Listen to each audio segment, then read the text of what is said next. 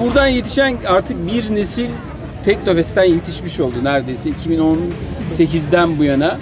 Girişimlerine, lise çağında bu yarışmalara başvuran kardeşlerimizin üniversiteyi bitirip girişimlerini takımlarıyla beraber kurduklarını gördük. Bunlar kimisi dünyaya ihraç edilen teknolojiler geliştirdiler. Biz buralardan dünyaya damgasını vuracak birçok Türk markasının çıkacağını inanıyoruz. Ona adım adım gidiyor. Nasıl ki siyalarımız e, dünyanın şu anda kendi sınıfında en iyi siyalarını üretmeyi başardık 20 senede. Elbette bu bir sabır gerektiriyor.